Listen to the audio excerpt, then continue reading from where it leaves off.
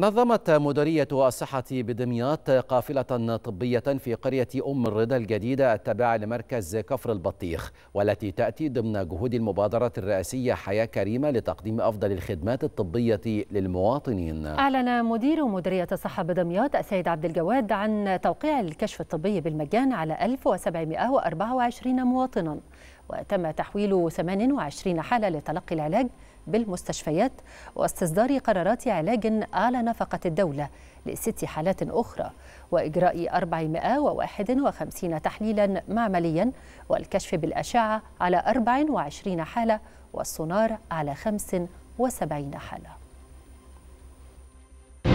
قرية ام الرضا من القرى الكبيرة واللي توابع كتير والإقبال زي واقبال كبير جدا في خلال اليومين بتوع القافله والحمد لله إحنا بنقدم الخدمة اللي تقدر تغطي أي عدد بيتردد علينا.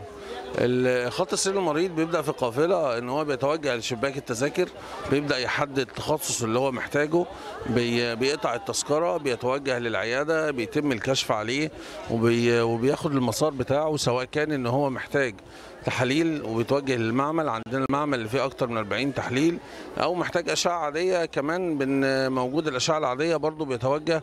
بعد ما ينهي الفحوصات بتاعته بيرجع العياده تاني للدكتور عشان يحدد هل هو هتنتهي خدمته عن طريق كتابة العلاج والمتوفر في الصيدلية بالأدوية اللي بتغطي كل التخصصات المتاحة أو إن هو محتاج جواب تحويل لأقرب مستشفى مركزي. معانا في القافلة عيادات طبية متنقلة ومتخصصة بكل التخصصات الطبية. موجود معانا حوالي 12 عيادة تخصصية بالإضافة إلى عيادة تنظيم الأسرة. موجود معانا صيدلية متكاملة بكل الأدوية اللي بتغطي التخصصات الطبية الموجودة القافلة. موجود معمل متكامل موجود أشعة عادية وسونار. كل ده بيتقدم للمواطنين بشكل مجاني تماما. بنبدأ الإعداد للقافلة من قبلها بوقت كبير. بنبدأ نراجع قاعدة البيانات اللي عندنا ومركز المعلومات. إيه الحاجات اللي اتصرفت في أقرب قافلة كنا موجودين فيها هنا قبل كده؟ إيه التخصصات الطبية اللي المرضى بيحتاجوها هنا في القرية. عندنا قافلة طبية النهارده وكانت امبارح برضو اليوم النهارده اليوم الثاني على التوالي. بنقدم الخدمات للجمهور هنا والناس هنا في القرية. كل التخصصات موجودة الحمد لله وبندعم القافلة. طبعا احتياجاتهم كلها بنوفرها لها. في مدرسة أحمد زويل قرية أم الرضا الجديدة.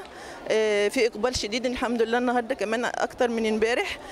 امبارح كان العدد 900 النهارده إن شاء الله ممكن نوصل لأضعاف العدد بتاع امبارح.